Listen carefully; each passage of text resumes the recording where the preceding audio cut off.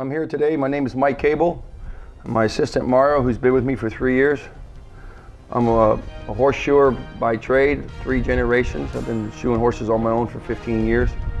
And a lot of problems we have with race horses and pleasure horses and standard breds and trotters and pacers and riding horses and show horses, they have a tendency to come up sore in the feet or they have a tendency to slip too much. So what I designed the slapper pad with my assistant, we come up with a pad that keeps them from slipping but also gives them protection if they have any foot problems, such as foundered, drop sole, bruises, cut too short, corns in the corner of the feet, broken bars, wall separation, quarter cracks, navicular, and um, we had very good luck with the the old style flip flop, but they didn't have the grooves and the knobs to keep them from slipping. So we designed the pad with the same concussion and protection, but more grab so they don't slip. When a horse slips, they injure soft tissues and strain their legs and tendons. So what I'm gonna do today with this thoroughbred, he's a retired thoroughbred, his name is Hunter. We're gonna put a pair on him because he has some tender feet and he's an older horse. He has a lot of arthritis in his legs and feet. So we're going to put these on today and see how the girl who owns them, how she likes them when she rides them in the show ring today. Thank you. Oh, uh, Pacer from Pompano Park Racetrack. He has real sore, flat feet. He broke a coffin bone in this left front foot. He has broken bars in both front feet. So we put bar shoes on him and heel pads, but he's still sore. So what we're going to do today we're going to put this flip-flop pad on that we designed to get him sound to race. He's not going to race this week because he's too lame. So what I'm going to do is I'm going to demonstrate how we put the shoe on and the pad and we'll show you the, show you the final results. He's very flat-footed, like a lot of horses, especially race horses. He has a lot of pain right here, and the sole is dropped like the arch in your foot. So what I'm going to do is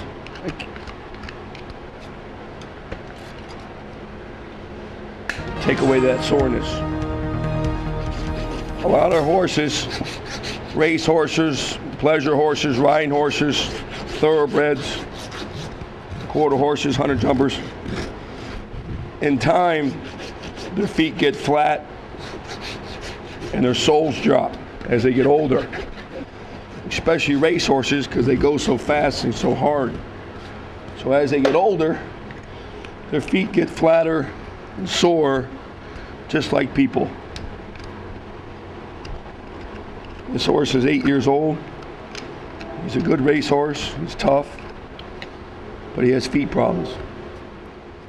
For years with bar shoes, it's helped many horses with sore feet. We take the pressure away with a pad like that to relieve the, this corner. And with a with a new slapper pad, we eliminate all that just by giving them cushion. And with this pad design, they don't slip. I got my knobs here and my grooves. The shoe goes on here. I'll demonstrate that next.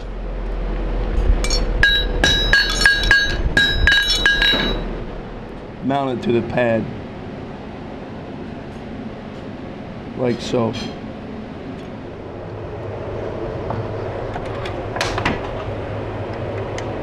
We cut the heels off like so. And then we rivet it on and nail it on.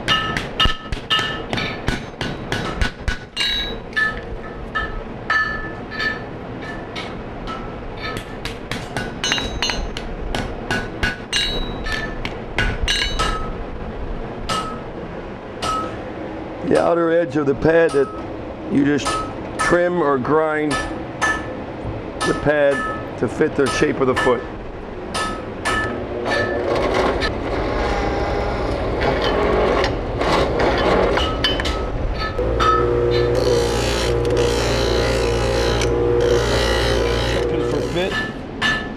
and it seems to be a little too wide. I gotta cut a little off.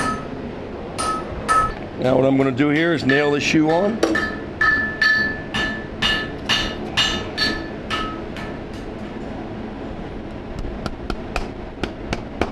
This horse has had problems with his feet for many years.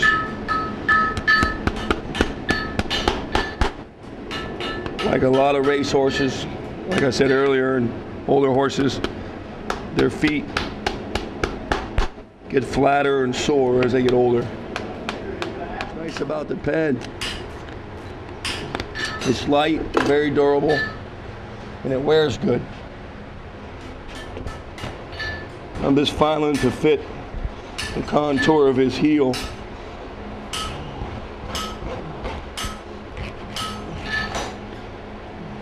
Horse's name is Tizer, by the way. The difference in these two feet now, the foot I did and the other one is not done yet.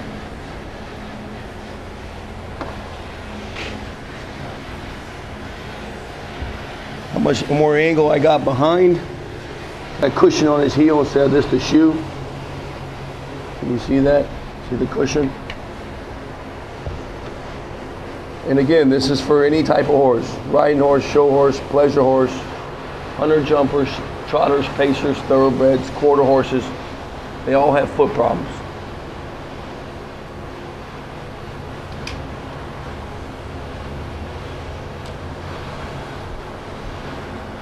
Leon, uh, this would be a, a before and before and after picture these two front feet.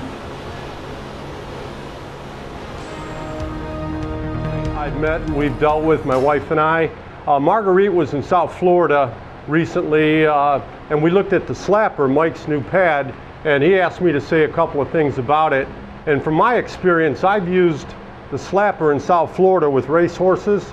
On, uh, we have somewhat of a limestone surface, and they've worked really well on the standardbreds. I've also uh, used them in Middle Georgia. Uh, my wife and I have a company there that uh, we're interested in moving some of this uh, product, uh, the new pad. It is taken the place of a flapper or um, uh, a new version of the pads, in other words. But anyways, I've used them in Georgia, Florida. In Georgia, we get a lot of red clay, and when it gets wet, it's sloppy. And these pads here, they seem to clear themselves, and they work um, they work well from anything to a trail horse. I've used them on uh, quarter horses that had bad feet. It's a multi-purpose, multi-pad that we've seen to work real, has worked really well with um, different athletes, equine athletes and what they do. But um, I think that this pad has a real, uh, quite a bit of potential on, on uh, replacing the flip-flop or the flapper or another version. But um, anyways, it's really worth taking a look at. And I think Mike has done a, Mike Cable has done a nice job, and I'm going to promote it the best I can. Thanks.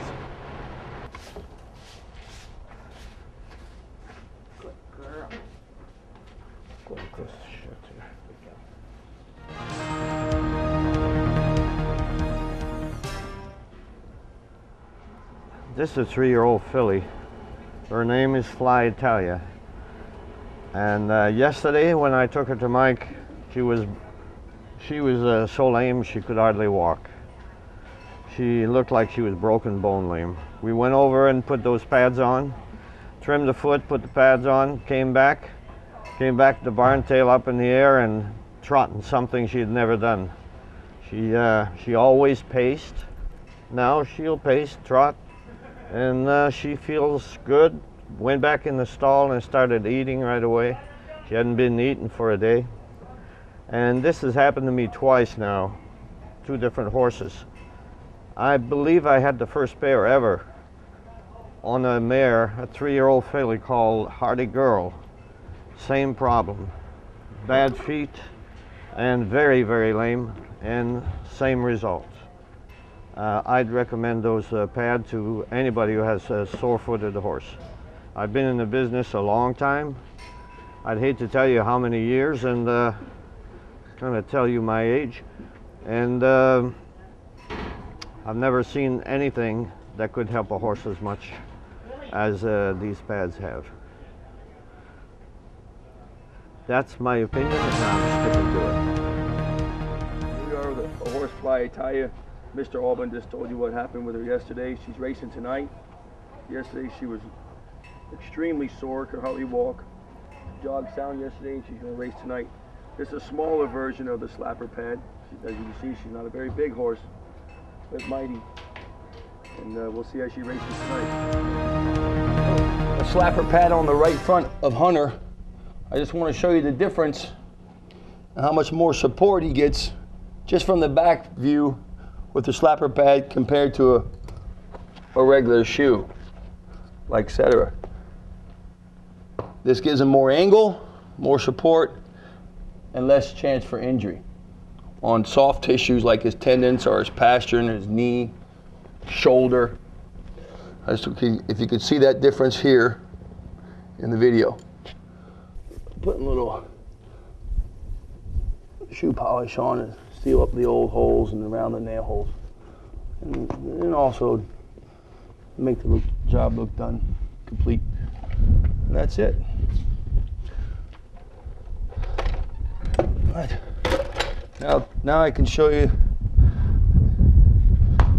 compared to the foot before we put the slapper pad on, how much more support I gain in angle on these two front feet than it was with just a regular shoe. Can you see that? Okay. Thank you for your time. Um, I've been in the horse training business for 20 years. This is my horse Hunter. Um, Mike Cable had put the slapper shoes on him today, and I did notice a very big difference in him being lighter. Off his forehand, he felt a lot more comfortable around the turns. Uh, I've had a problem with him being tender-footed in the corners, and I noticed a humongous difference in that. Uh, he was very comfortable. He had a good feel of the ground, and apparently he had more cushioning, so he was more comfortable being down on his front end.